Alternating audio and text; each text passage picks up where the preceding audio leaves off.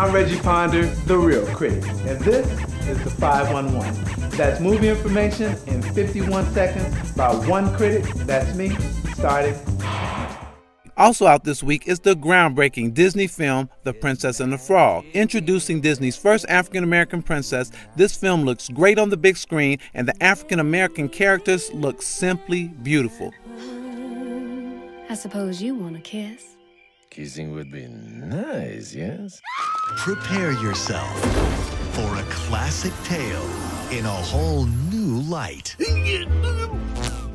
This film sends a message to African American girls specifically, as well as others, that anything is possible, and that alone is worth the price of admission. With traditional Disney elements like good versus evil and finding one's humanity, The Princess and the Frog proudly represents the Disney tradition. Kiss me. Excuse me? Please, it will make me human again.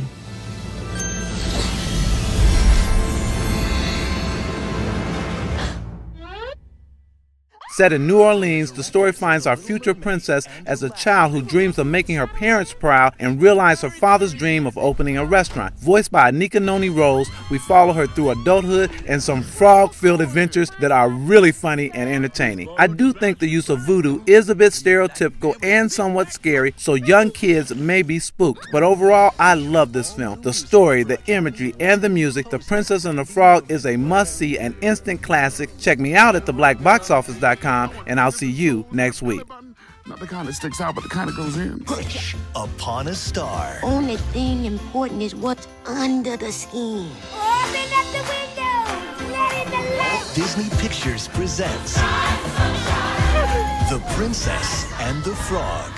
I'm Reggie Ponder, the Reel Critic.